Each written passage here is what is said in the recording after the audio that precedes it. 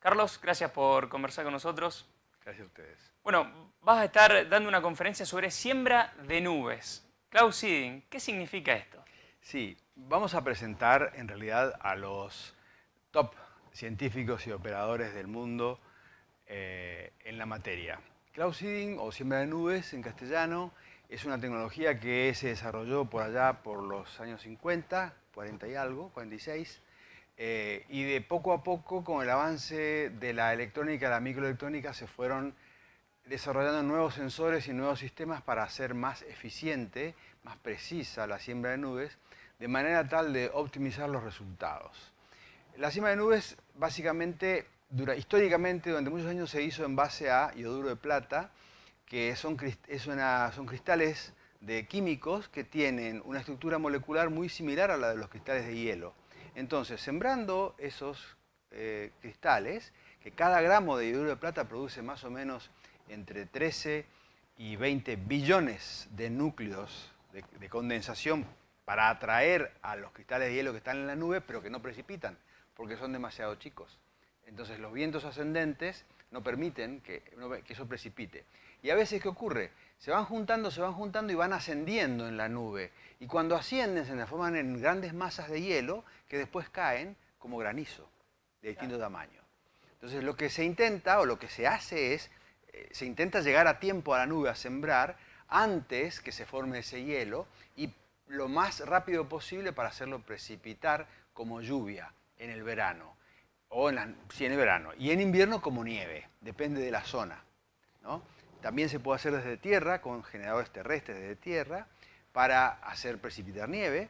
Son programas que se realizan en algunos estados, en Estados Unidos, por ejemplo, hay un estado que está sembrando ininterrumpidamente desde el año 1953. Entonces ellos tienen la estadística más acotada y más exacta en cuanto a la, la relación costo-beneficio. Y ellos han determinado, después de años y décadas de estudio, que eh, la relación costo-beneficio es 1 a 78 en general. O sea, por cada dólar que invierten, el derrame que se hace, no solamente para el, chacarero que, que, incrementa su producción, sino en toda la comunidad, es de 78 dólares. O sea, 78 veces la inversión.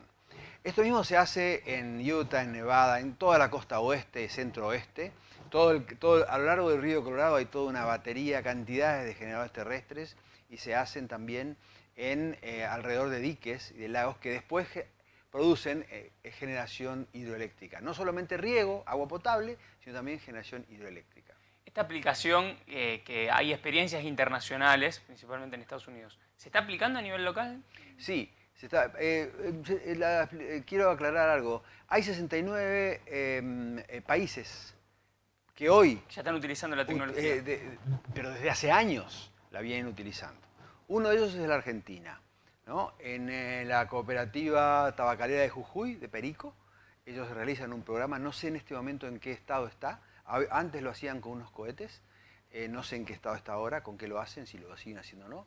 Y en Mendoza existe un programa de siembra de nubes para mitigación de granizo, solamente. No se hace eh, vuelo para siembra de lluvia, para incremento de lluvia ni para incremento de nieve, pero sí se hace para mitigación de granizo. Hablamos de los efectos positivos. ¿Tiene algún efecto negativo esto? Hay mucha discusión y hay gente no informada, opina sin saber. Eh, todos los estudios científicos que se hicieron en el mundo desde que comenzó la siembra de nubes respecto a la posibilidad de contaminación de tierra, del suelo o del agua.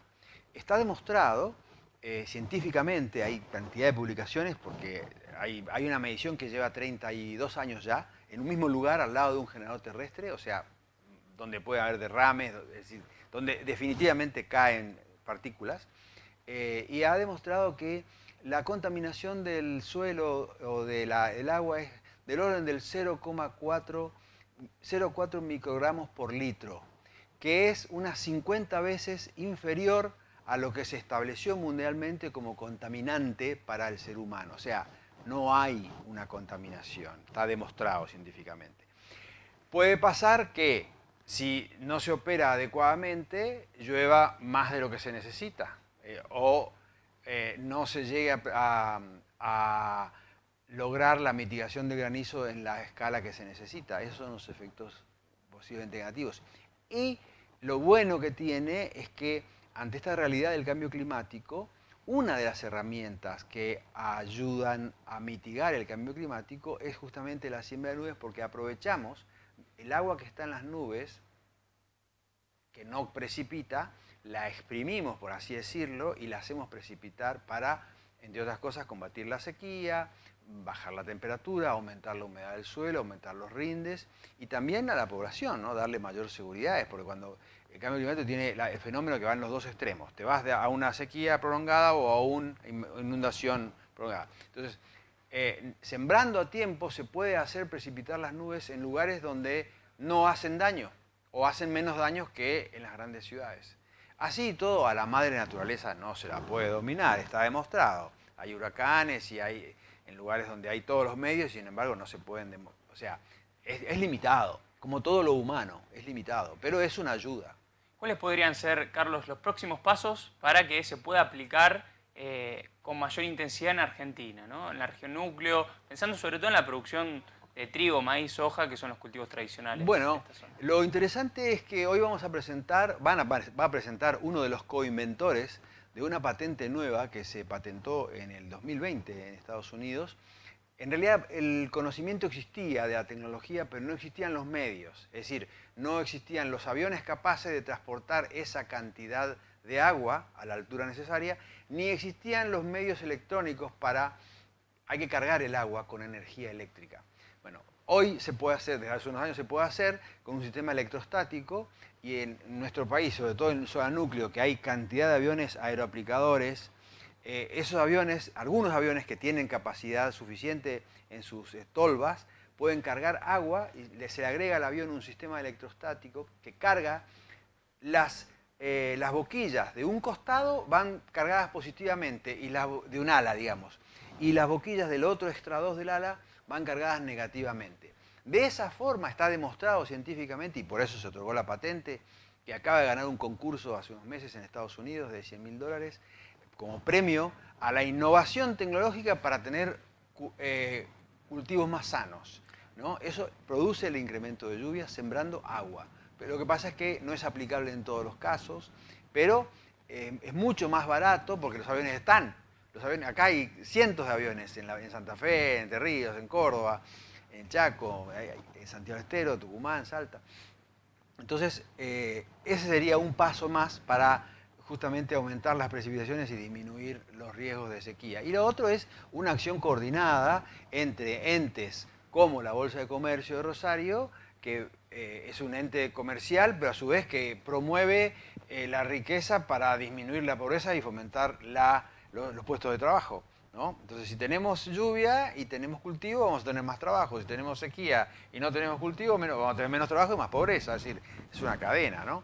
Entonces, hay que articular, habría que articular lo público con lo privado eh, para que eh, el desarrollo de la tecnología sea lo más eficiente posible. Y esto es, guste o no, en manos de privados porque si no, a veces se prestan a malos, malos manejos, malas interpretaciones o desconocimientos. ¿no? el privado busca la última tecnología. Por algo, por algo la Bolsa de Rosario tiene una cadena, una red de estaciones meteorológicas.